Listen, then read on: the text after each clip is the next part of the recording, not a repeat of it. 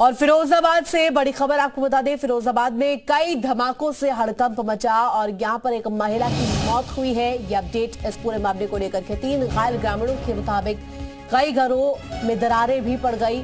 कुछ लोगों के मलबे में दबने की आशंका शिकोहाबाद के नौशेरा गाँव की पूरी घटना।